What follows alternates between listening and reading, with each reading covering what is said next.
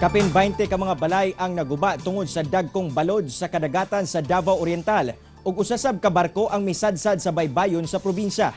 Ani ang report? Ana sa 24 ka mga balay sa San Isidro, Governor Generoso sa Davao Oriental ang partially damaged tungod sa mga dagkong balod sa kadagatan sa probinsya. Miabot sa 769 ka mga banay nga sagad nagpuyo sa baybayon ang gipang bakwit tungod sa posibleng storm surge. Hinoon, gipapauli ra sila diyang nasuta sa PDRRMO Opsen nga luwas na. Apan posible gyapon silang evacuate panahon nga duna na say dagkong mga balod.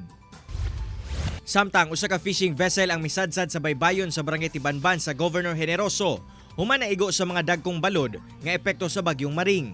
Hinoon, matod sa PDRRMO Opsen, wala kini na danyos. Giimbestiga na sab sa Philippine Coast Guard ang gikatahong oil spill sa lugar.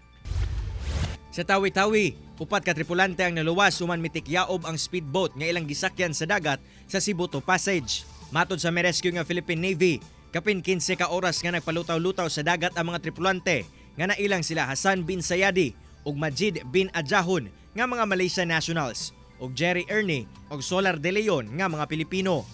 Daghan kunong samad sa lawas ang nahiaguman sa mga tripulante ug nagluya na.